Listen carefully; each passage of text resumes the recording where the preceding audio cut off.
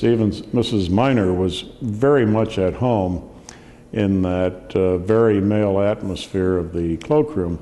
The ladies would come in and use the phone booths, and they would have a sandwich or a cup of coffee at the snack bar, but you never saw them sitting in the club chairs and definitely not reclining on the couches. That simply was not a place where women went, and it was rather clear that they just weren't welcome back there. And one day, Mrs. Meyner created quite a stir when she came in and took off her high heeled shoes and stretched out on one of the couches and put a towel over her face, just like uh, one of the guys.